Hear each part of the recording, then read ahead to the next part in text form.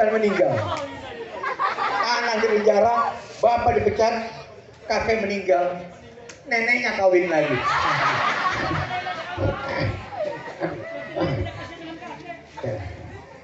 Sobek hancur, itulah narkoba. Hancur lebur, ya. Jadi jangan pakai narkoba karena sangat berbahaya sekali, ya.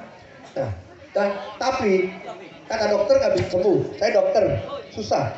Tapi kalau ada pendidikan, ada sosial, ada agama, bisa kita.